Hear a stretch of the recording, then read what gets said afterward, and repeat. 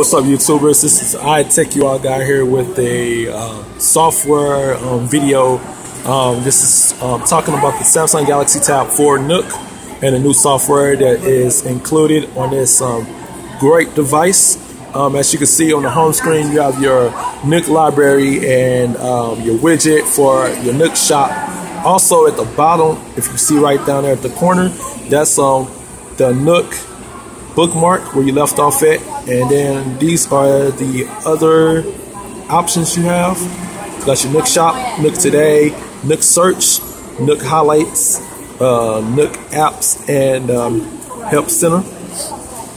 Also just to remind you all that this tablet has the 4.4.2 KitKat Android update and this is how you find out. You go to general Excuse me.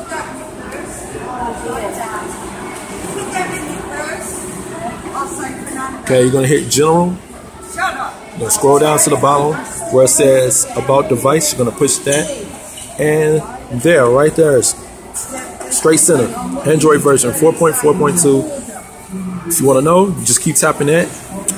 And when you see the KitKat, that means you have Android KitKat on your device.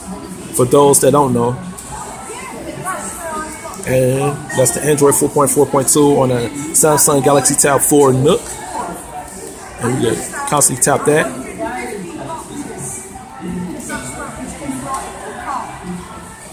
Okay. Now, just to go ahead, hit that. And this is basically the shop what's on sale for the Nook books. Me go back.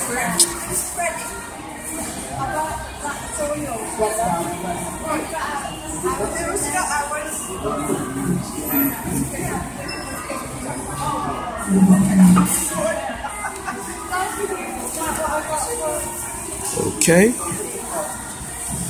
Hit bookmark to go to where you left off at in a book.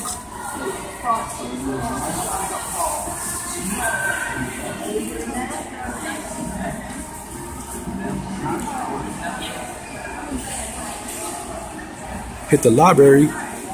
Check out your library.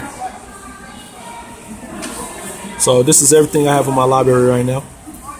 You got your books, magazines, movies and TVs, catalogs, newspapers,